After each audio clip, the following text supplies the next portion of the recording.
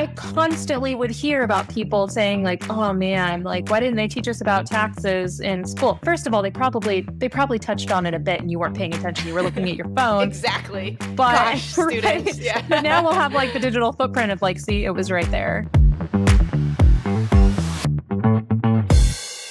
Hello, hello, everyone. Welcome back to Intuit for Education's Teaching Finance series with me, May. So, I have two baby girls, and recently we've been introducing the concepts of savings and spending with our five year old. For example, if she's extra sweet to her baby sister or decides to proactively read a book, we will reward her. Well, this week she finally saved enough to buy something. Now, I was really rooting for her to get something useful like a cool book, but guess what she chose? Yes, this is a unicorn's tale. She's really proud of herself though, so just goes to show how financial literacy really is for everyone. Anyway, today we are going to tackle the topic of developing financial literacy through experiential and interdisciplinary learning. And you know what? We have the perfect guest to do so. Dr. Andrea Forcum, who's also known as the famous educator Andrea on TikTok and Instagram, spent most of the past decade in the K 12 classroom, basically teaching English to every grade in high school. This fall, she transitioned to teaching pre service teachers at Indiana State University. And get this Andrea has a master's degree in secondary education and in English, and a PhD in curriculum and instruction. And there's more! She's also a keynote speaker and an entrepreneur who's constantly finding new ways to support teachers with humor. Oh, yes, she is really funny. And realistic resources that help make their lives better. All right, Andrea, I'll stop embarrassing you, but please tell us more about yourself. Yeah. So, in addition to all of like the school stuff, I am a mom of two kids. My kids are three and five. And I have been working at Indiana State just for this one semester. The impact of my time, you know, in the K through 12 classroom is my whole inspiration far more than any of like the college stuff, any of the classroom learning I did. It was because I had all of that experiential learning that I feel like I'm a really Mm. good professor for pre service teachers. Um, and then the TikToks and Instagram stuff, that's just kind of where I go to find inspiration and to share hopefully some humor and support for the community that I found online. I was telling Andrea off uh, the podcast earlier that me and my team have heavily stalked her on social media, and we laugh so hard. It's it's so funny. So everyone should go check you out. Thank you. Do you think you can talk a little bit, just in your thoughts in general, on why financial literacy that that knowledge is really important and impactful to impart onto high school students? Absolutely. So, Mashi, when I was in high school, I have this vivid memory um, because my parents never gave us credit cards because they wanted to protect us from getting into debt. Mm. And so they gave us debit cards instead. And the bank that I was at, they wouldn't stop you from spending more money than you had in your account. They would just charge you if you overdrew. And of course, like Mhm. a lot of banks, it it was like not two dollars every time you overdrew. It was like however much you took out plus thirty dollars, plus thirty dollars. so every time if I went Right. to like the movies and then got popcorn and candy and then all of that. And so I oh was living my best life. You know, I had a job making minimum wage and all of that. Um, and I thought I still had money in my account, and I was just do do do to do. Mm. And then all in, they sent they sent a letter to my house for every single time that I swiped it. So I got in one day like seven letters with the red. You know when you know when you see like the red Oh yeah. And you're like- oh no.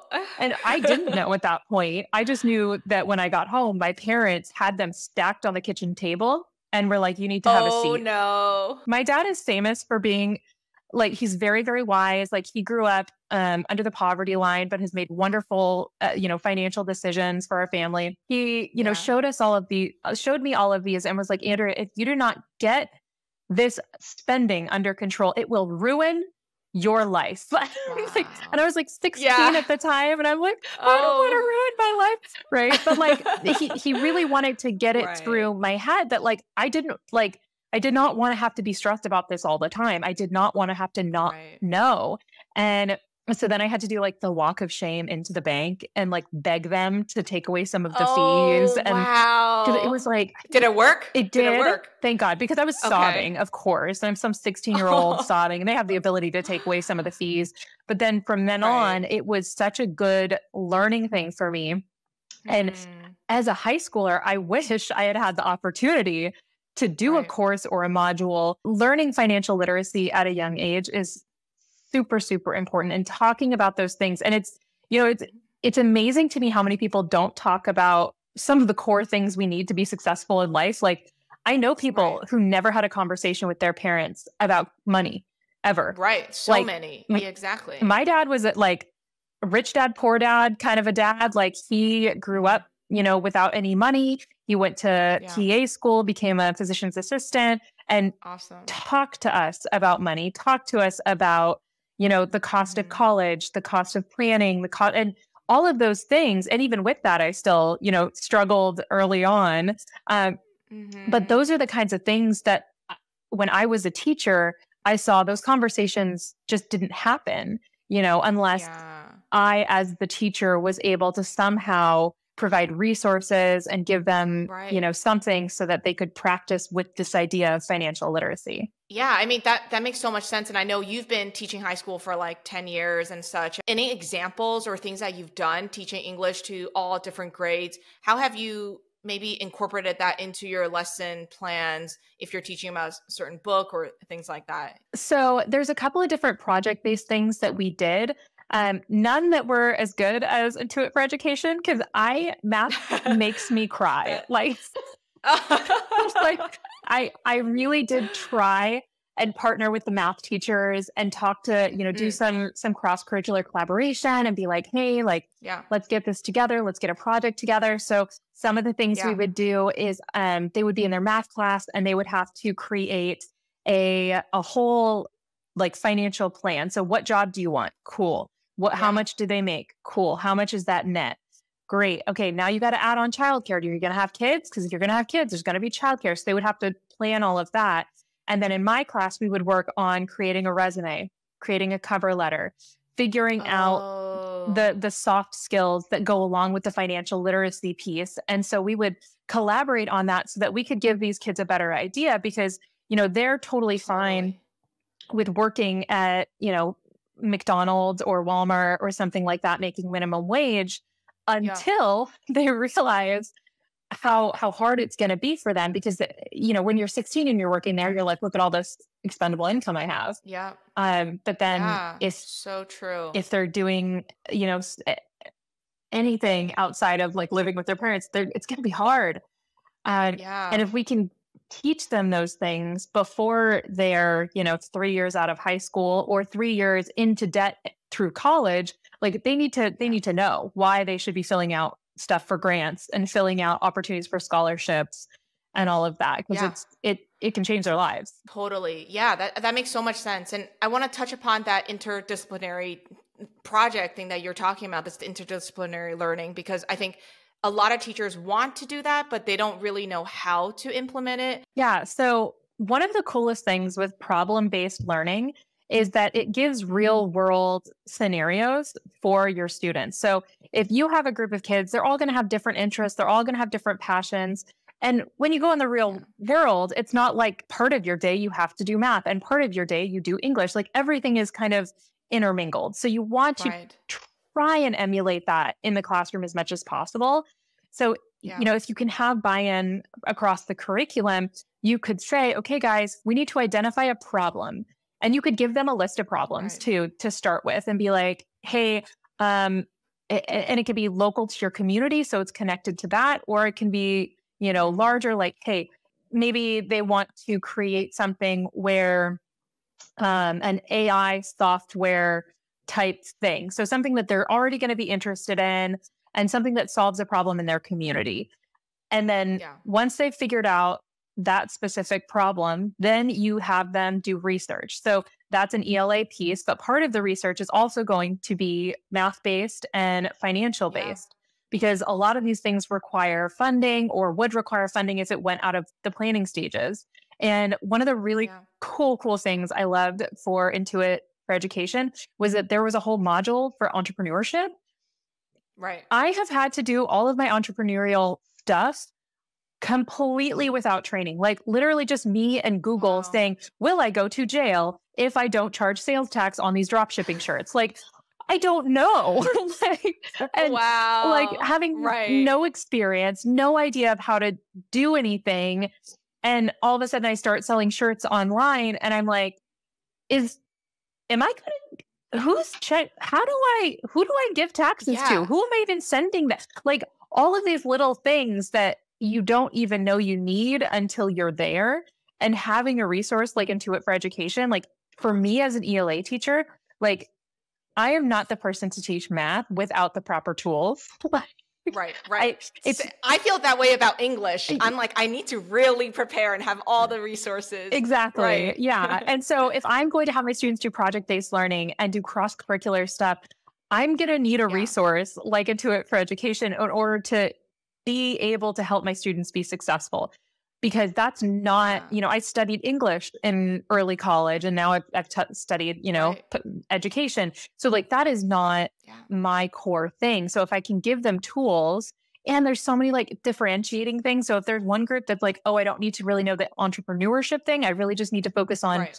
budgeting um, or something like that. There's options for that too. So it, it allows differentiation without putting the mental load on the individual teacher, which is a dream, honestly. Yeah.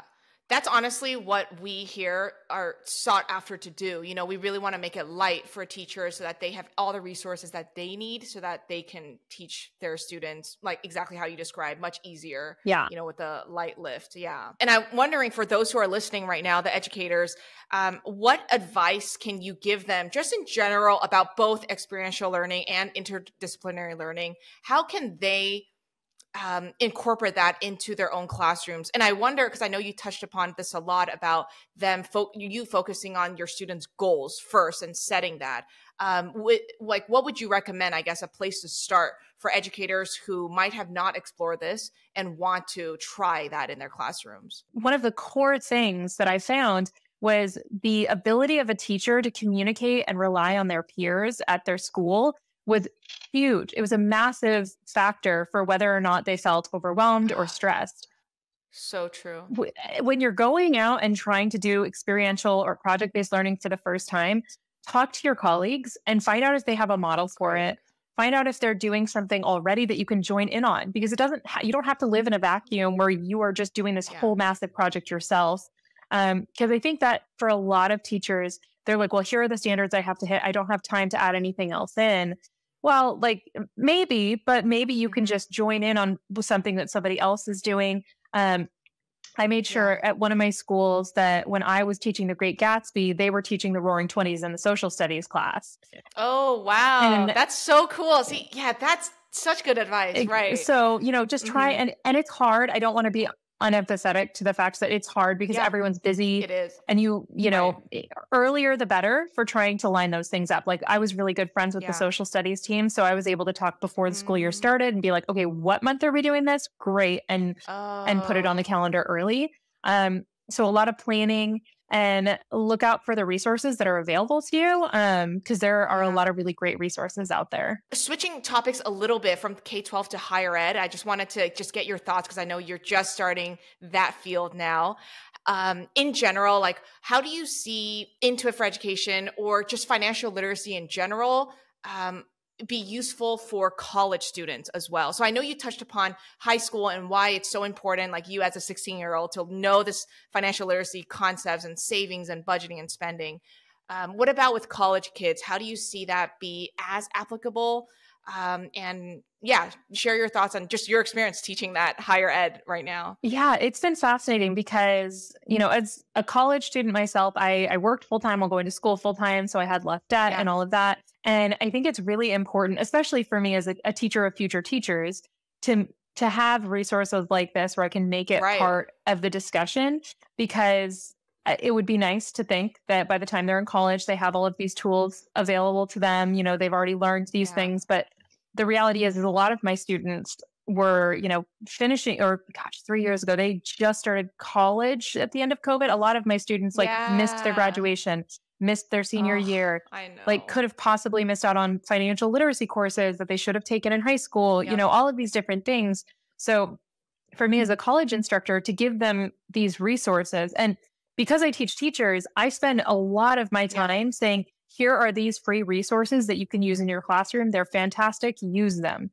Um, so that's super key. Um, and another thing that I found is just the availability, like for like I'm learning things looking at Intuit for Education, like Uh, yeah, at you said entrepreneur. Yes, yeah, yeah, your, like, your business. Exactly. And I was like telling my husband about it. I was like, dude, I wish I had this like two years ago when I started this whole thing because Same. and Googling, Mhm. YouTubing, and looking online from completely unvetted sources, right? Like you they say Yeah, like how do you know what to trust out there? Exactly, Seriously, how and- do you know? I don't. Yeah, and everyone's on their hustle and everyone's on their grind, right? You you log on and they're like, cool, cool, cool. I'll tell you how to, you know, set up your business. And then they're like, but if you want the fifth step that, you know, is the one that you'll go to jail if you don't follow, you sign up for my course and that'll be $300 a month and blah, blah, blah. And I'm like, what?